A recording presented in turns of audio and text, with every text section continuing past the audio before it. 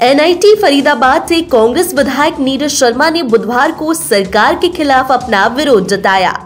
नीरज शर्मा ने अपने कपड़े उतारकर एक सफ़ेद कुर्ता धारण किया, जिस पर उनके हल्के की समस्याओं से जुड़ी तस्वीरें छपी हुई थी। इस बारे में बात करते हुए उन्होंने कहा कि उनके हल्के में सड़क टूटी हुई है, सड़कों और गलियों पर कीचड़ भरा है। सीवेज व्यवस्था खराब है इसके लिए उन्होंने सरकार से 28 करोड़ रुपए का फंड मांगा था ताकि इन समस्याओं को दूर किया जा सके। लेकिन विधानसभा में भी ये मांग उठाने के बाद अभी तक इस मांग को पूरा नहीं किया गया।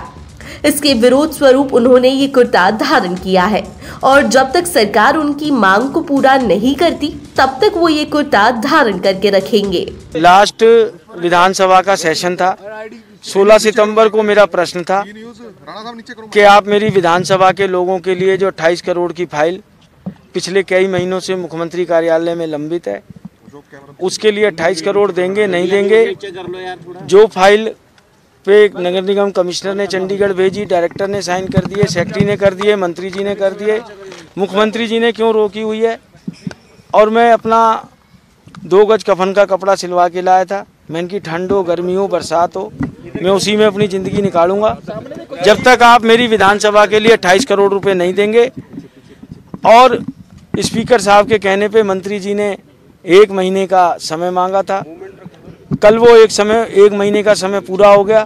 मैंने कल तक इंतज़ार किया। सरकार से, अफसरों से, मंत्री जी, स्पीकर साहब सबको रिमाइंडर भी भेजे। किसी की कान पे जू नहीं रहेंगी। अब मैं अपने ये कपड़े, जो मुख्यमंत्री जी का निवास है जिसको ये कबीर कुटीर कहते हैं और कबीर जी के तो ये पाँवों की धूल के बराबर भी नहीं है जो कबीर जी की विचारधारा थी ये कपड़े वहाँ छोड़ के और अपने कफन वाले कपड़े ग्रहण करूँगा। अपने आवास पर ही नहीं है सर। किस तरीके नहीं मैंने देखिए देखिए कोई मुख्यमंत्री को अपने आवास पर ही नहीं है और तमाम प्रोटेक्शन पुलिस जो है वो लगाई गई है। पहुँच पाएँगे नहीं पहुँच पाएँगे क्या कुछ देखिए हुई है वही जो राम रचि राखा क्योंकर का साखी तर्क बढ़ावा जो प्रभु श्री राम की कृपा होगी उस हिसाब से कार्य होंगे और आगे देखते हैं क्या रहेगा। संघर्ष है जीवन। अपने विधानसभा के लोगों के लिए संघर्ष करूँगा मैं। बहरहाल कांग्रेस विधायक का कहना है कि वो अपने लिए कुछ नहीं मांग रहे हैं। सिर्फ़ अपने हलके के लोगों की समस्याएँ दूर करने के लिए उन्होंने ये फंड मांगा था। लेकिन सरकार ने ये फंड नहीं दिया। अब वो तब तक ये कुर्ता पहन कर रखेंगे जब तक सरकार इस फंड को जारी नहीं करती। ब्यूरो रिपोर्ट सत्य खबर।